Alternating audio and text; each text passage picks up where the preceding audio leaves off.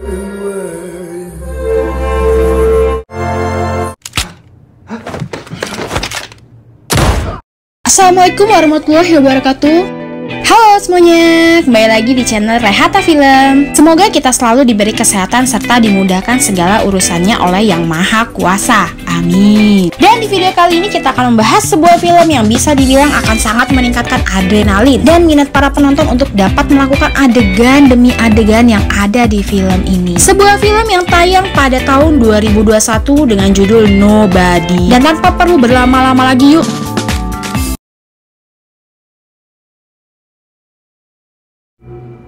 Who the fuck are you? Kisah akan berfokus pada seorang pria paruh baya yang bernama Hatch Mansell. Di mana dirinya adalah sosok ayah sekaligus kepala keluarga bagi istri dan kedua anaknya, Hatch sendiri bekerja di perusahaan milik sang ayah mertua sebagai bagian administrasi yang mana hari-harinya diisi dengan rutinitas yang monoton dan gitu-gitu aja deh tanpa ada sesuatu yang menguji adrenalinnya sedikit pun.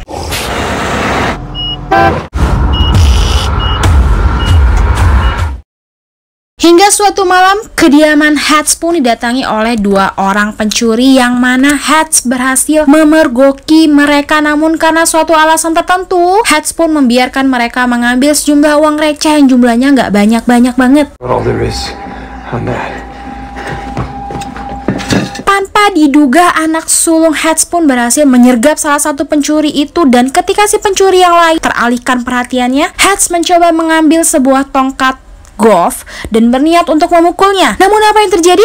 Hats justru meminta anaknya untuk melepaskan pencuri itu dan membiarkan mereka berdua kabur begitu aja. Let him go, son.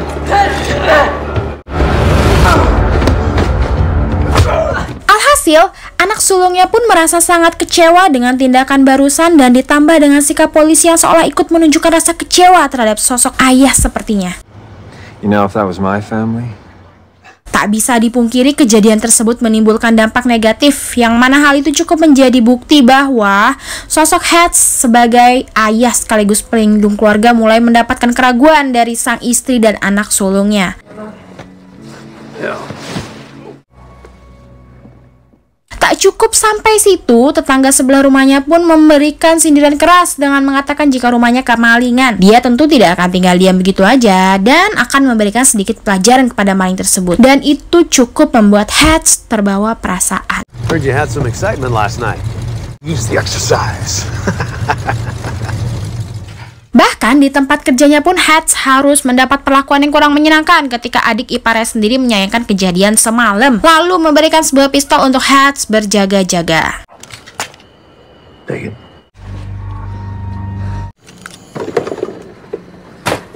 Ini adalah ayah mertuanya Hat, alias pemilik perusahaan tempatnya bekerja, di mana dia membicarakan tentang rencananya untuk menjual perusahaannya ini karena usianya yang sudah tua. Mertuanya ini berniat untuk pensiun. I'm rooting for you. Di sisi lain, di balik rutinitas dan kesehariannya itu, Hats ternyata memiliki sebuah radio khusus di ruangan kerja rumahnya, yang di mana dia sering berbicara dengan seseorang yang nampaknya seseorang itu merupakan teman lamanya, di mana hal itu menjadi sebuah pertanyaan misterius tentang siapakah sosok Hats ini sebenarnya. Look. Dan percakapan Hat dengan seseorang di video akhirnya menguak sebuah fakta menarik tentang alasan kenapa Hat tidak melakukan perlawanan di malam itu karena ternyata Hat sudah mengetahui secara detail tentang kedua pencuri itu dan mereka berdua adalah sepasang suami istri yang kemungkinan besar sedang mengalami masalah ekonomi karena jika mereka adalah maling profesional nggak mungkin dong mereka melakukan pencurian hanya nyolong duit receh. Empty.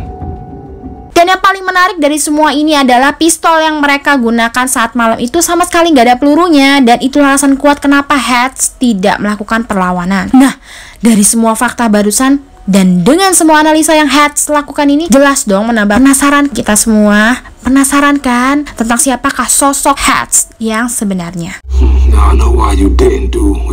Do. Selepas pulang kerja, Hats pergi ke panti jompo untuk menjenguk ayahnya, yang tentu sudah kiaki, di mana ia hanya bisa duduk di atas sofa sambil menonton film di televisi. You been eating? What? Saat pulang, Hats pun berdiri tepat di depan rumah di mana dia melihat keluarganya sendiri dan merasa bahwa dia cukup kecewa dengan dirinya sendiri yang gagal menjadi sosok pelindung bagi keluarga. Dan saat sudah masuk rumah, istri dan anak sulungnya pun masih bersikap cuek terhadapnya. Namun ketika si bontot mengeluhkan tentang kalung anjingnya yang hilang dan mungkin terbawa oleh kedua pencuri semalam, di situlah Hats benar-benar sangat emosi. In here. I'm sure it'll turn up somewhere. Dengan cepat Hats pun kembali ke panti jompo tempat ayahnya tinggal. Tiba di sana lalu dia mengambil sebuah pistol yang disimpannya di sana. Dan dengan sebuah petunjuk yaitu tato pada lengan si pencuri yang dia lihat malam itu, Hats pun berencana untuk mencari kedua pencuri itu dan mengambil kembali kalung anjing milik anaknya.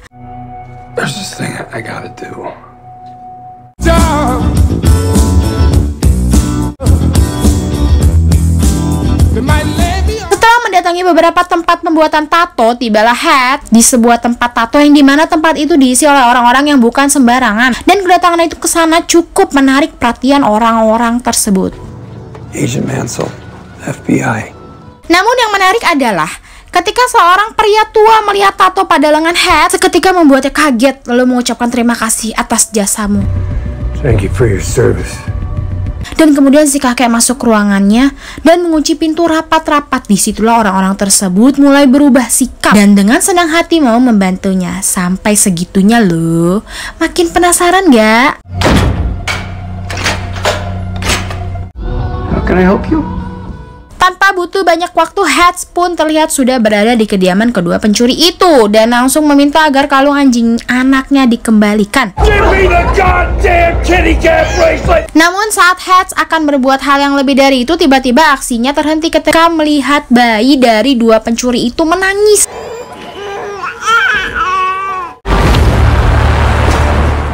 Saat Hats duduk di dalam bis menuju rumah karena dia memutuskan untuk pulang saja dengan semua perasaan kesal yang gagal untuk dilampiaskan. Namun suatu keberuntungan terjadi ketika ada sekelompok pemuda yang mabuk dan masuk ke dalam bis, di mana hal itu membuat Hatnya terlihat senang karena akhirnya mendapat sasaran empuk untuk dijadikan bahan pelampiasan emosinya. Dan ketika para penumpang ketakutan karena kedatangan sekelompok pemabuk itu yang masuk dalam bis, Hats pun dengan santainya berjalan melewati mereka kemudian mempersilahkan si supir untuk keluar. Lantas apa yang akan dilakukan oleh Hats? Tentu saja dia akan menghajar habis mereka semua. What are you still doing here, old man? I'm gonna fuck you up. Dan tidak terelakkan lagi terjadi perkelahian Satu lawan lima Antara lima orang pemuda tinggi besar melawan Hats yang hanya seorang diri Hats yang memiliki perawakan kurus dengan brutalnya menghajar mereka semua di mana dengan ini cukup ditampilkan secara realistis Dan itu sangat-sangat menegangkan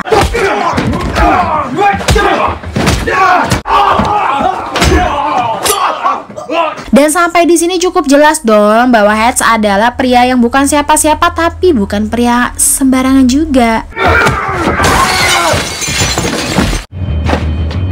Sorry about the mess. Ketika tiba di rumah, sang istri pun awal terkejut dengan banyaknya luka di wajah dan tubuh Hats. It's been a hell of a day. I can see that. Sambil melontarkan banyak pertanyaan, dia pun mengobati Hats dengan sepenuh hati dan menemaninya sampai dia terlelap tidur.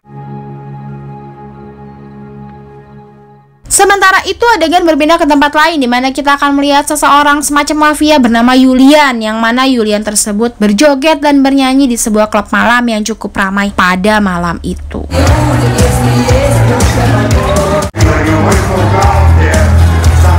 Yulian sendiri adalah seorang mafia Rusia yang memiliki usaha penyimpanan uang di mana rekan-rekan sesama mafianya mempercayakan semua uang mereka di tempat penyimpanan miliknya. Dan saat Yulian ditegur oleh para rekannya itu mengenai sikap tidak gagah dirinya saat berjoget dan bernyanyi di depan umum, di mana sikapnya tersebut dianggap bisa menurunkan elektabilitasnya sebagai seorang mafia besar karena menunjukkan tidak adanya wibawa dalam diri Yulian. Yulian tiba-tiba memecahkan gelas kemudian menyerang salah seorang yang merupakan pemegang saham bisnisnya itu lalu menggorok leher tepat di depan para rekan yang lainnya. Dan itu cukup membuktikan bahwa Yulian adalah orang yang berbahaya yang bisa membuat kepercayaan mereka meningkat.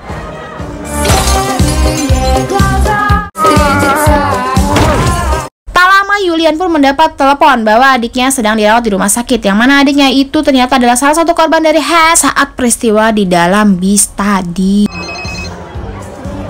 Yeah. Julian pun marah besar dan mencoba menginterogasi satu persatu teman adiknya mengenai pelaku yang telah membuat adiknya babak belur, di mana salah satu temannya tersebut berhasil mendapatkan kartu identitas kerja milik Hat. Who did this to my brother? How can I find this man?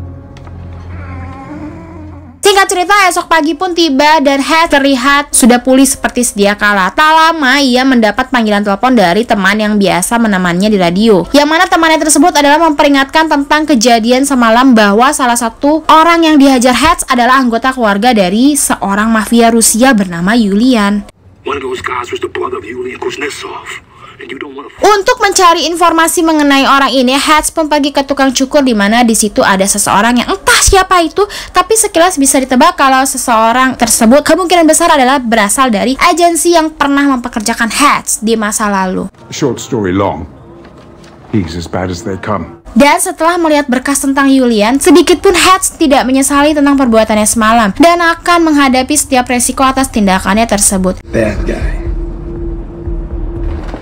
Julian sendiri memberikan kartu identitas kerja milik Hats kepada stafnya, di mana staf tersebut menyuruh salah seorang dari pihak pemerintahan untuk melacak alamat dan semua hal tentang Hats. One black mail package coming up. Alangkah kagetnya mbak-mbak tersebut ketika mengetahui bahwa Hats adalah orang yang sangat berbahaya di mana kita bisa melihat beberapa foto yang memperlihatkan tentang kebrutalan Hats di masa lalu sampai-sampai si staff tersebut memutuskan untuk mundurkan diri dari pekerjaannya saat itu juga sampai semenakutkan itukah sosok si Hats I'm out, no need to pay. Good luck. Saat Hats dan keluarga sedang makan malam, Julian ternyata bergerak lebih cepat di luar dugaan, di mana dia mengirimkan beberapa pasukan ke alamat rumahnya untuk menghabisi Hats beserta seluruh keluarganya. Alasan yang jelas dengan cepat, Hats menyuruh mereka masuk ke ruang bawah tanah untuk bersembunyi sementara waktu dan mereka semua diminta untuk tetap tenang. Call 911. Ketika pasukan Yulian masuk, kita akan semakin dibuat penasaran apa yang akan dilakukan Hats kepada para pasukan Yulian ini. Faktanya, Hats ternyata memiliki jiwa brutal yang selama ini telah terpendam begitu lama, di mana Hats membantai sebagian besar pasukan Yulian dengan begitu gilanya, meskipun akhirnya dia harus tertangkap karena disetrum dari belakang.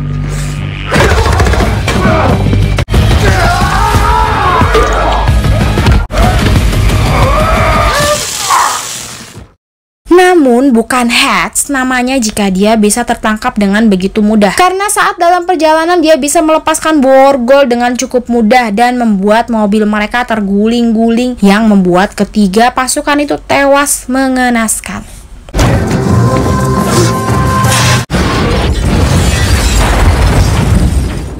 Hats kembali ke rumah di mana dia dengan tenangnya membawa istri dan anaknya keluar dan melihat begitu banyak jasad tergeletak. Kemudian menyuruh mereka untuk pergi ke tempat aman sampai situasi benar-benar kondusif. Come on, you gotta give me something. I will.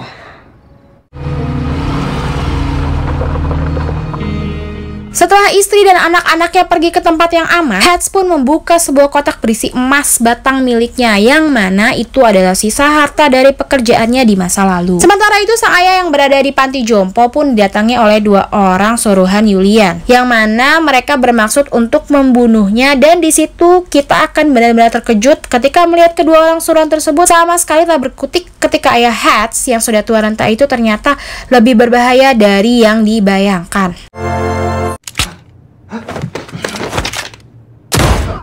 Setelah meledakkan rumah beserta semua jasad pasukan Yulia, Hats pun menemui ayah mertuanya untuk membeli perusahaan tempatnya bekerja dengan emas batangan yang dia bawa.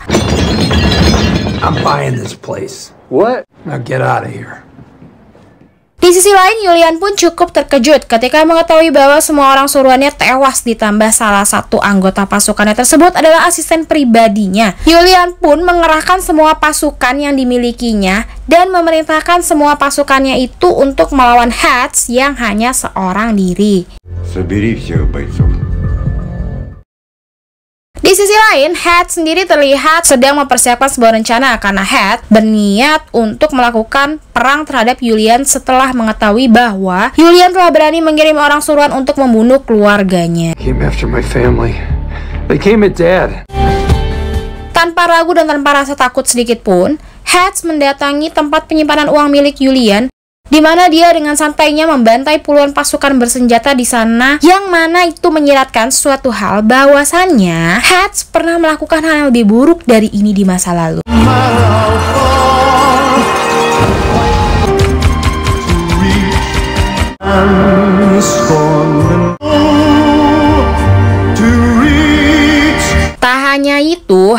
Juga membakar semua uang milik rekan-rekan Julian yang mana itu tentu akan membuat Julian bertanggung jawab atas hilangnya semua uang milik mereka. Dan yang paling gilanya lagi dari semua ini adalah setelah Hatch menghancurkan bisnis Julian dengan bernyali dan bermental baja, Hatch datang sendiri ke klub milik Julian yang mereka bisa melihat dia sedang asik makan tanpa ada rasa takut terhadap Julian dan semua pasukannya. Mr. Mansell.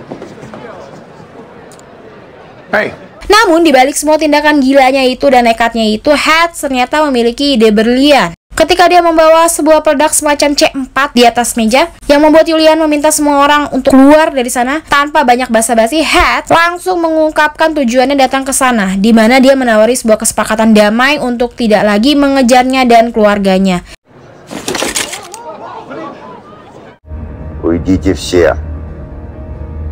Hingga saat Hatch mengatakan bahwa dia sudah membakar semua uang dan usaha milik Julian, Hatch juga menyarankan agar Julian berhenti dari pekerjaan mafianya dan menjadi orang baru yang lebih baik. think it over. I'll be nearby. Keluar, Hatch menunggu keputusan apa yang akan diambil Julian dari dalam mobil. Hingga saat Julian keluar dan akan mengejarnya, jangan salahkan Hatch, karena Julian lebih memilih mati ketimbang berdamai dengan tawarannya tadi. Terjadi kejar-kejaran di mobil dan Hatch diberondong ratusan peluru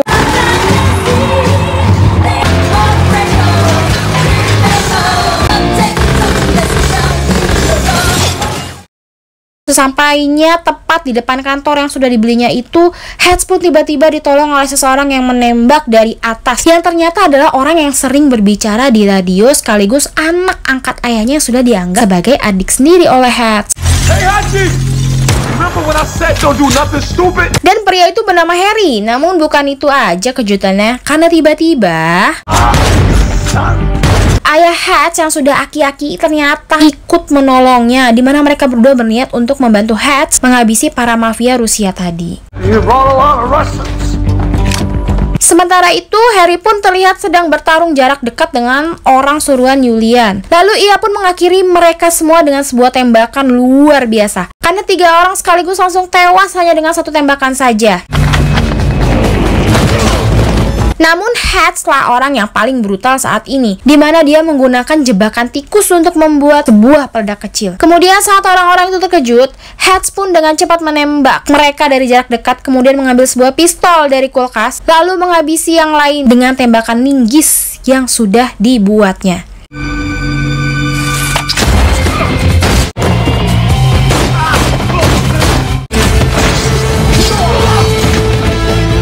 Akhirnya ketika mereka bertiga berkumpul di situlah saat-saat masa lalu seolah terulang kembali yang mana mereka bertiga adalah sebuah keluarga yang sangat ditakuti karena memiliki sebuah profesi yang cukup mengerikan di masa lalu.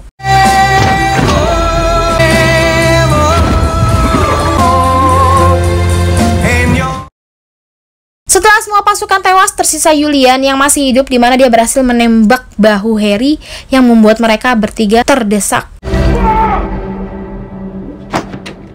Jangan dianggap ini adalah adegan dramatis yang akan berakhir menyedihkan.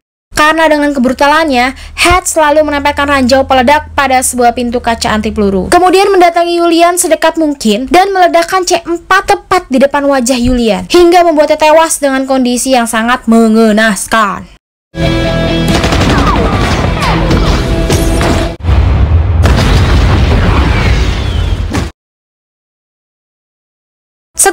Ini terjadi, Hats ditangkap dan diinterogasi oleh dua polisi yang di mana mereka berdua sangat amat terkejut dengan ratusan jasad manusia seolah tak percaya jika Hats yang telah melakukan itu semua sendirian. Tak lama, kedua polisi itu pun tiba-tiba mendapat panggilan telepon secara berbarengan entah dari siapa pun itu. Namun yang mengejutkan adalah mereka berdua meminta maaf dan melepaskannya begitu saja tanpa syarat. Who the fuck are you? Yeah. Yeah, what?